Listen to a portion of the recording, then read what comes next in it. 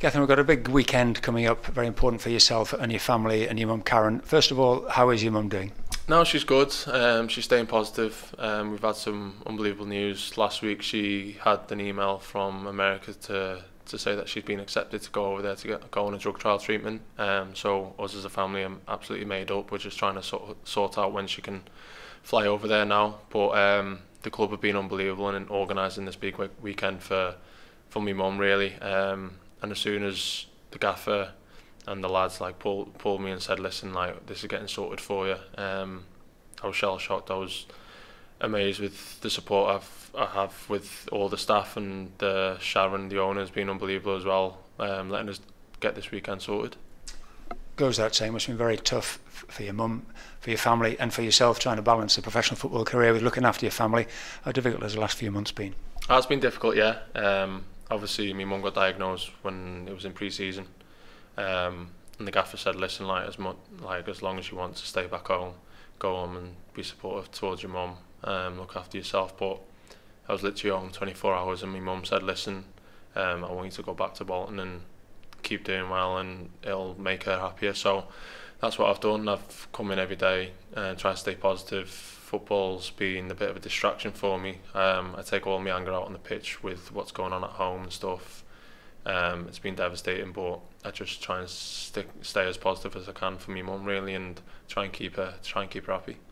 as far as this weekend is concerned. Very important, as you say, it's an expensive business having treatment. You're equally helping the MND project uh, on a wider circle, but equally making it a sort of special day for your family, supporters, and all ex-players coming back. It's quite an occasion, isn't it? Yeah, definitely. Listen, when when the gaffer and the Doyle and Sars, when he was obviously here, um, was so supportive and said, listen, like, we want to get this sorted for you. Um, and I was shell-shocked because I was thinking, big legends like Kevin Davis and obviously this dimension Sam Allardyce being the legend and was like how are we going to get this sorted? But Kevin Davies got in contact straight away with me over Twitter said listen like we'll get I'll get this sorted. Um, John McGinlay's been great support because um, obviously he's here and helps out quite a bit and I spoke to him and he said like we'll, we'll get this sorted no problem.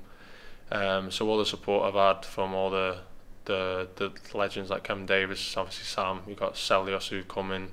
It's been amazing really but um, from all the support from all the staff to keep me positive and to get this weekend sorted. It's been a been a good thing for me. And the supporters have really rallied around as well. Superb ticket sales, still chances to come. So I'm sure you'd say a big thank you to them as well. Yeah, 100%. Listen, like we were overwhelmed as a family. The support I was given on the social media the past few months, and I just want to thank them for everything really. And it'll be a good day out for the fans as well to obviously see these legends back again and. Um, mainly we just want to I want to show the support my mum's actually getting. Um, obviously she gets the support from family and friends back home, um, but for her to come up here and see thousands of fans supporting come to the charity game, mainly for her, but to see the legends play, it'll be a fantastic occasion. Yeah and there's a, a Bolton link as well with Stephen Darby, who I know has been very helpful to you as a family, who's obviously, unfortunately, suffering with the same condition. And I know uh, he's been, played a big part in everything, and you're going to help uh, out his, his, his foundation in return. Yeah, 100 listen, Stephen Darby's been unbelievable support. Um, as soon as my mum got diagnosed, my agent got in contact with Stephen Darby, and straight away he, he rang me straight away and said, Listen, any support you need, this is just try and stay positive. And he's become a good family friend to my mum now. So, he's um, he's been unbelievable, keeping me on positive, even though he's going through the same disease and stuff. But um, he got us in contact with the people in Boston, America, um, so we could go ahead with that. And we just thought, with everything that we're doing, um, and JustGiving Page and all the fundraisers we're doing back home, and obviously doing here, 25% of everything that we, we raise, we, we're going to put towards Stephen Darby's foundation. It is a football match. Unfortunately, you can't play. Uh, the little wispy are going to try and do a, a, job swap with the gaffer. Is that true? I haven't had the proper chat with him yet, but um, he has mentioned that he wants to get his boots on, so I might ask him if I can. We can just swap roles for the day. Um, I'm not sure if he'll go as fullback. He'll probably go as a striker. Um, no, but I'll, I'll be on the side. I'll be on the touchline on the day. Yeah. I wish you well and hope it's a special weekend for you all. Thank Cheers. you. Cheers. Thank you.